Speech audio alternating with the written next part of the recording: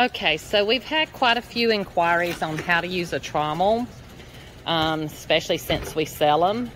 So we're gonna demonstrate for you right now how to how to do this. Um, Tabitha's getting set up to. Um, the first thing we're gonna do is we're gonna harvest some worms out of our bed. Now, if you've got a CFT, um, you may not have any worms at the bottom. You may be just sifting for um, getting finer castings. Um, if it's trays, it would basically work the same way. But we have windrows. We have these really wide windrows. So we're going to harvest some out of these. So the first thing she's going to do is, um, you can see where I've left off, Tabitha.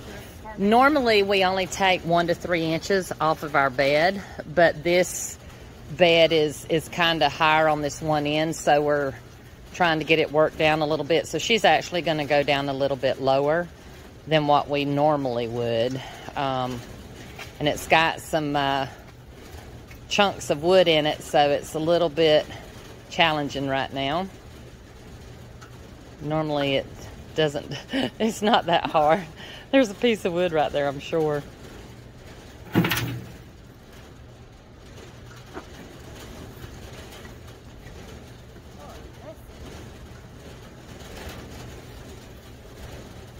I've got a bucket over here for those pieces of wood, those big pieces, because we really need to take them out.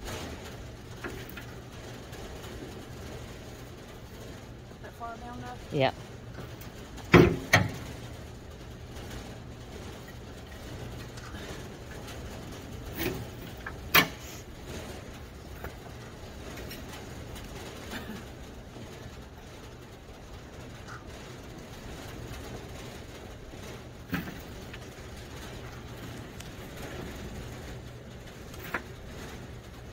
All right, that's probably enough for our demonstration.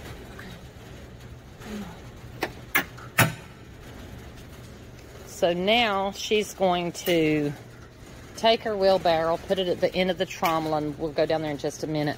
But what's essentially going to happen is the first two screens, so we have two 1 8 inch screens and one quarter inch screen. The two 1 8 inch screens are for your castings.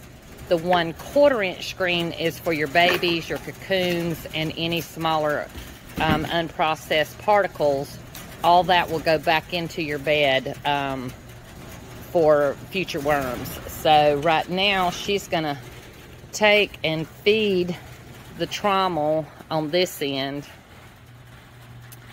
Now you could use a um, conveyor and uh, or you could use a pitchfork.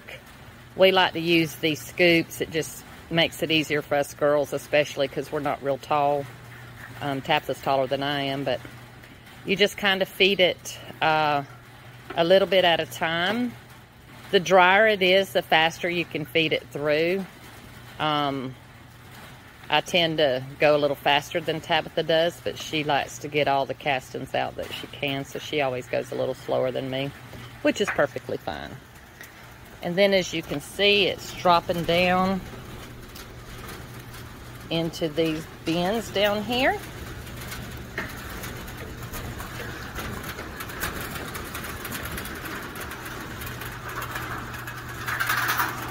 And then it's going to start coming out at this end.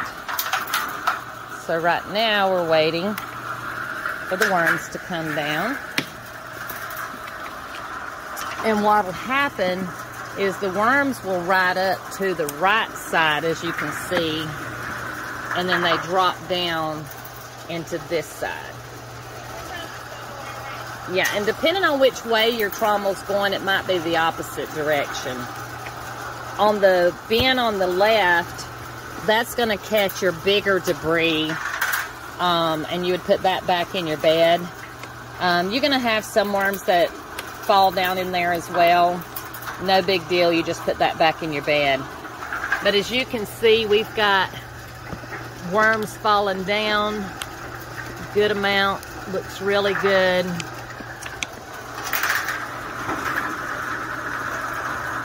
And it just rides right on up. Now you could build something or you could have conveyors under your trommel, um, which is what we eventually want to do.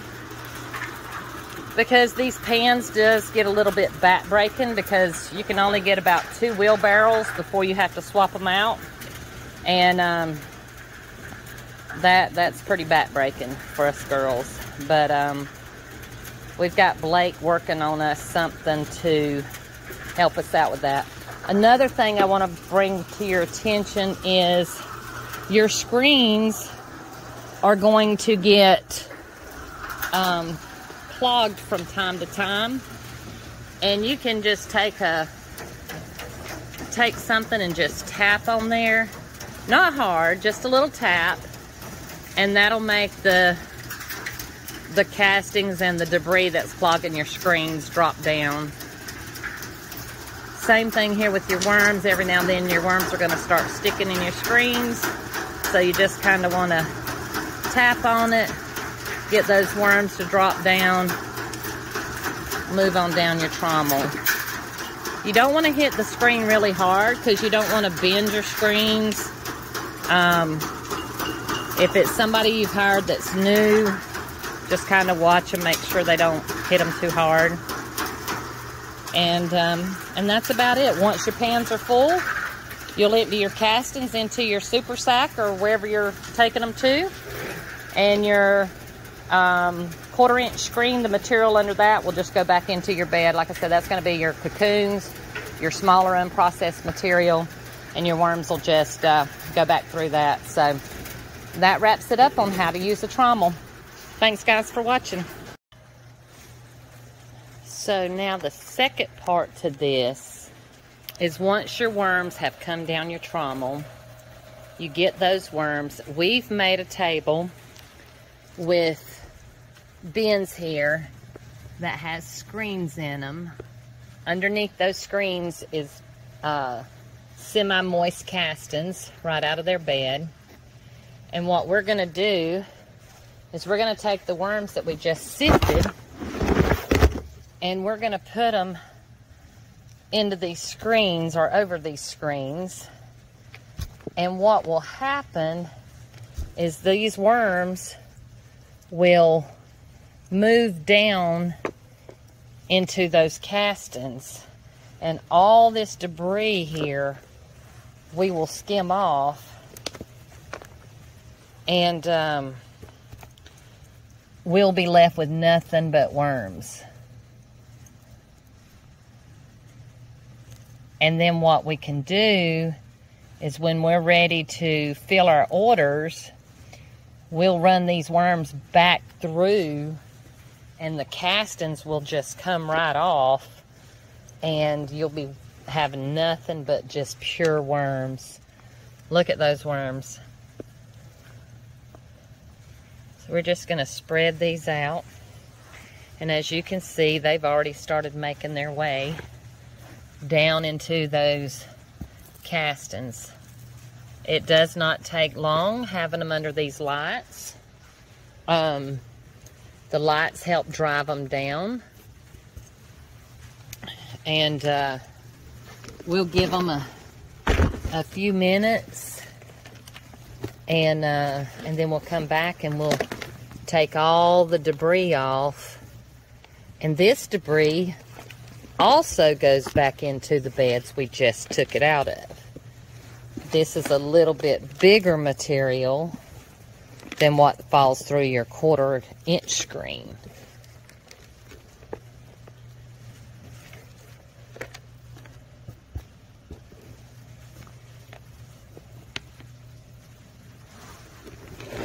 I have 10 of these trays set up here um, to do this.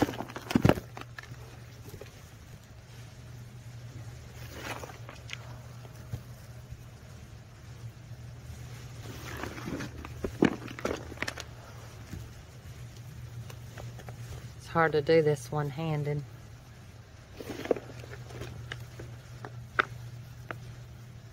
But you just want a lightly a light um, thickness because you want that light to get into the worms.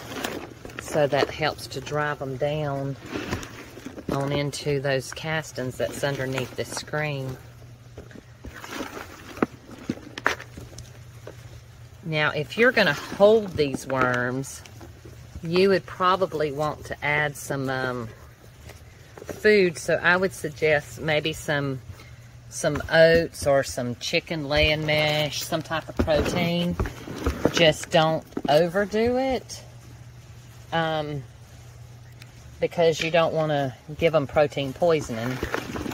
But it would help keep the weight on them keep them nice and healthy for your customers. Customers don't seem to like little worms, although they get more worms the smaller they are.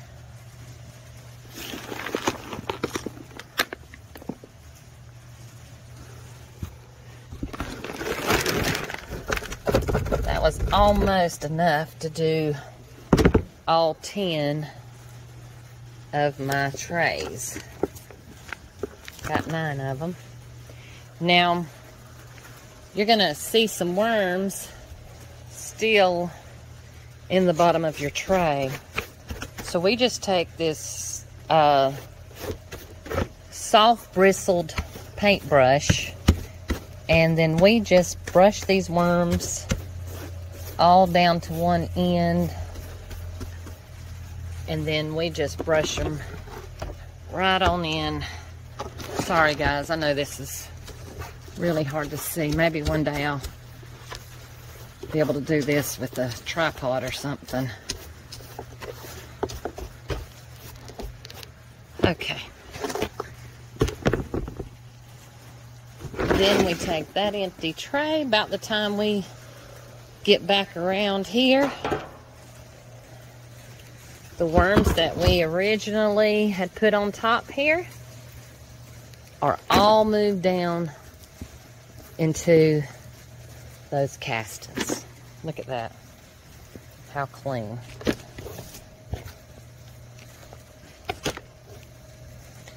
This just makes harvesting worms, folks, so much easier. Now, if you're using CFTs, you could just put all that back into your CFT. You wouldn't be harvesting worms out of there.